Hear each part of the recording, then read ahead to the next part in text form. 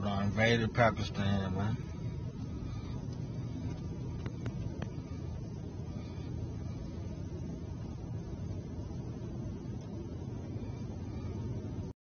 were surrounding this apartment complex in southwest Atlanta for most of the morning.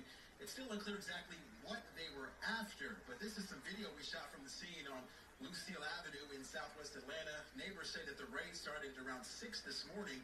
Agents from the FBI, the ATF, and the Department of Homeland Security executed the raid. Authorities haven't said exactly what they were after or what was taken. Sources confirmed to Channel 2 Action News that the raid is related to the local rapper Ralo. His real name is Terrell Davis. DeKalb County jail records show he was arrested in DeKalb County Sunday for a charge of conspiracy to commit a felony. But a friend of his and community activist says the rapper Ralo helps people in the area. You're a homeless person on the street, he'll take you out the street and he'll put you in his place. He'll, he's that kind of a person.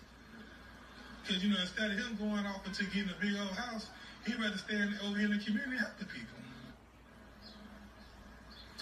And we reached out to four law enforcement agencies.